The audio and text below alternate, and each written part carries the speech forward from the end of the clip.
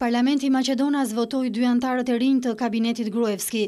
Mitko Çavkov do të mbajë postin e ministrit të Brendshëm dhe Vllado Misajllovski atë të ministrit të Transportit, pas dorëheqjeve të Gordana Jankullovskës dhe Mile Janakevskit.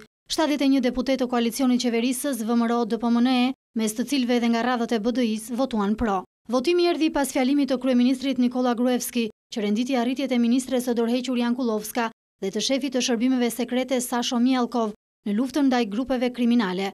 Ai vlerësoi veçanërisht aksionin policor në Kumanovë, pavarësisht numrit të lartë të viktimave. Ministrja e Brendshme Gordana Jankullovska dhe shefi i shërbimit sekret Sasho Mijallkov, gjithë këtyre viteve janë shoqëruar nga profesionaliteti, mençuria dhe besnikëria ndaj shtetit. Nën udhëheqjen e tyre u pa se si mbrohen interesat e qytetarëve të Maqedonisë.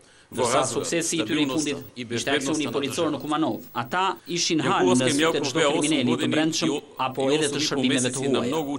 Vetë ministrat e argumentuan dorëheqjen si kontribut për kapërcimin e krizës politike në vend. Pavarësisht dy dorëheqjeve, qytetarët paralajmërojnë mbajtjen e protestave deri në largimin e gjithë anëtarëve të qeverisë dhe kryeministrit Gruevski.